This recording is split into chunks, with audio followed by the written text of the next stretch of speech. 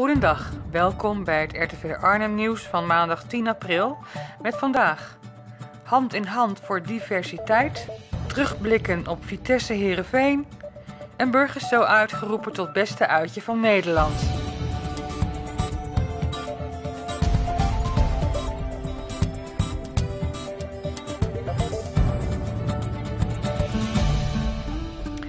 Afgelopen zaterdag waren er 2500 mensen aanwezig bij de manifestatie Hand in Hand voor Diversiteit. Een van de belangrijkste waarden van onze samenleving. Dat is de vrijheid om te zijn wie je bent. Afgelopen zaterdag vond een afschuwelijke mishandeling plaats op de brug in Arnhem die de naam draagt van Mandela.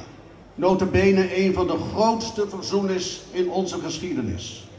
Had je hierop gerekend dat er zoveel mensen hier naartoe kwamen naar Arnhem? Nee, had ik helemaal niet op gerekend. Ehm, toen wij dit begonnen was het echt bedoeld als een, lokaal, een lokale initiatief. En dan denk je aan een paar honderd man. Uh, vooral vanuit de, de, eigen gemeenschap. Maar er zijn mensen uit heel Nederland, zelfs uit Duitsland. Deze manifestatie, wat brengt die in beweging, denk je? Ik denk dat het weer een kleine keerpunt is. Um, na 2001, het laatste waar wij echt voor gestreden hebben, is um, het homohuwelijk. En daarna zijn we een beetje achterover gaan zitten. En ik denk dat dit eigenlijk wel weer nodig was om um, ons wakker te schudden, de maatschappij wakker te schudden. Dat bepaalde dingen die gewoon heel eenvoudig en voor iedereen gebruikelijk zijn, dat dat ook voor ons geldt. Ja, iedereen gelijke rechten, gelijke kansen. Zo zou het in Nederland horen. En zo zou het ook moeten zijn. Wat verwacht je? Andere steden gaan dit ook doen, in eh, Amsterdam, Eindhoven? Nou, ik denk, ik denk dat we hier voorlopig nog wel even over nadenken. En, um, en ik denk dat dit nog wel even de gemeenschap bezighoudt. Zowel onze gemeenschap, maar ook daarbuiten, denk ik. En ik denk dat het heel erg belangrijk is dat we ook in de toekomst door blijven gaan op de pad die we nu ingeslagen hebben. En samen met elkaar communiceren en samen gaan voor een hele mooie maatschappij. Ik zag dat de politiek er ook was, de burgemeester net, toespraak. Ja, ik heb helaas niet zo heel veel meegekregen van de toespraak van de burgemeester. Maar ik heb hem van de week ook al horen praten. En ik, ik heb begrepen dat hij hele mooie woorden heeft gezegd. En de politiek is ook heel erg belangrijk. Pechtold zag ik lopen. Ja, Pechtold zag ik ook. Maar het is niet alleen de politiek. De politiek is heel belangrijk en heel erg fijn als je hun achter je hebt.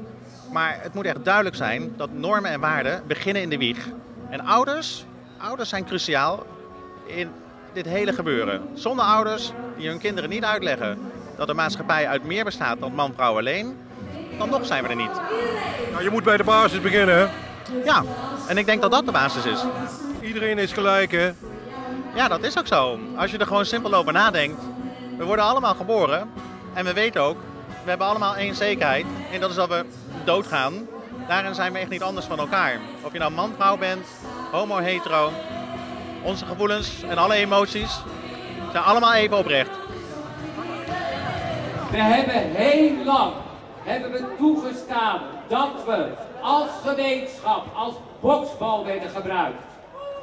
Ja, ik ben in de jaren 70 in elkaar geslagen, want toen was poterrammerij was een hele fijne hobby voor hetero jongetjes. Dat laten we vanaf vandaag nooit meer toe.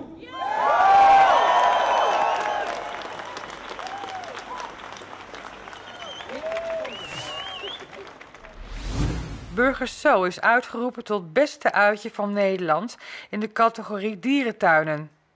Directeur Alex van Hoof ziet de prijs als een beloning voor de inspanningen van de dierentuin om zich altijd te willen ontwikkelen en verbeteren.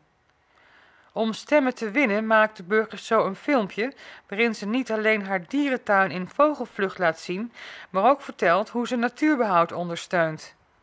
De Arnhemse dierentuin kreeg meer dan 1500 stemmen en een 8,6 als rapportcijfer. Bernard het Jong organiseert in koepelgevangenis De Berg een prison experience. Tot eind 2016 werd de gevangenis nog gebruikt als opvanglocatie voor asielzoekers. Paul Wouter sprak Bernard het Jong over zijn gebruik van deze unieke locatie.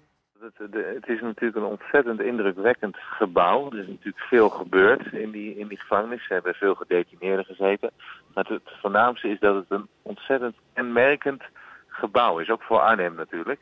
iedereen, veel mensen die uit Arnhem komen, ik denk misschien wel iedereen, die kent het gebouw wel. Hè? Als je over de brug rijdt, dan heb je het toonbeeld, hè, de skyline van Arnhem met de Kematoren en de koepelgevangenis. Hè, Waar je nooit, waar je als het goed is niet in kwam. Nou ja, goed, en nu uh, kan je dus een kijkje nemen achter de, achter de, achter de deuren van de koepelgevangenis. Hè, van, de, van de koepel zelf tot waar mensen hebben gegeten, uh, waar ze hebben gesport, waar ze hebben gewerkt, waar ze in de strafcellen hebben gezeten. Uh, noem het maar, alles krijg je te zien. En je krijgt ook uh, te zien, dat, want die gevangenis is op een bepaalde manier gebouwd. Hè?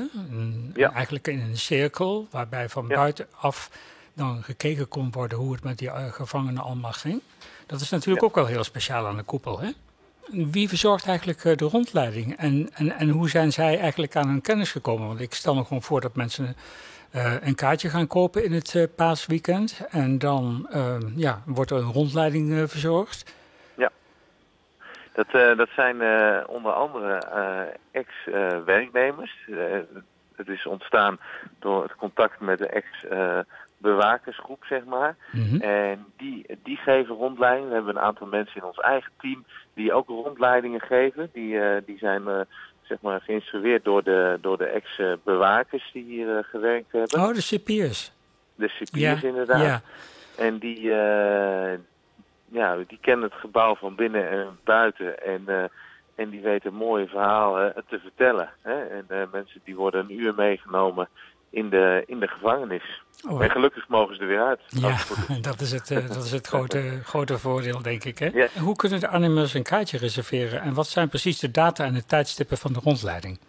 Ja, mensen kunnen via de website prisonexperience.nl mm -hmm. kunnen ze een kaartje reserveren. Vanaf vrijdag, zeg maar, voor Pasen, 14 april, 15, 16 en 17, tweede paasdag, zijn we open. Van s ochtends 10 tot s avonds 10. En dan worden ze hier ontvangen op het terrein door onze collega's. En dan krijgen ze de rondleiding. En die, en ja, die, die duurt ongeveer een uur. Ja. En, dan, uh, en dan gaan ze weer... Uh, dan hebben ze de ervaring meegemaakt. Ja, een nou, echte, echte gevangeniservaring. Een topweek in Arnhem levert 9 punten op. Vitesse speelde afgelopen zaterdagavond tegen Herenveen en won met 4-2. Topscorer Ricky van Wolfswinkel scoorde met een hattrick. Wij spraken met Van Wolfswinkel en trainer Henk Vrezer. Ricky, gefeliciteerd. 4-2.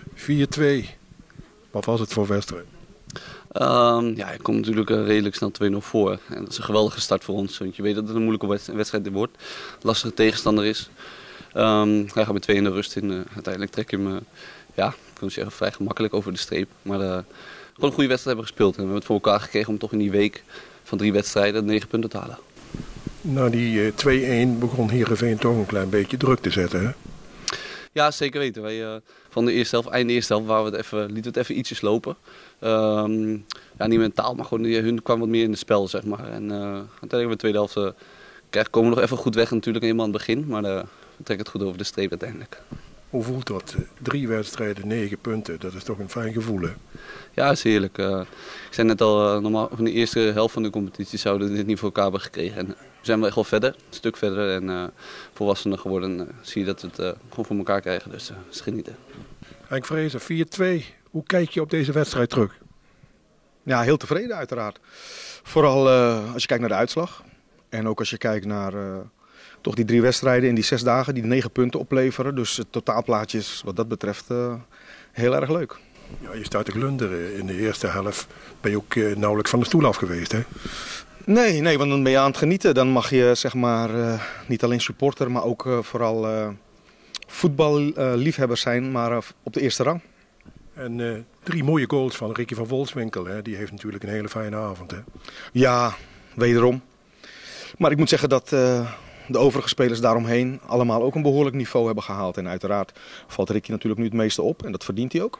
Maar ik denk dat je ook de anderen een compliment moet maken voor hoe zij de wedstrijd ingevuld hebben.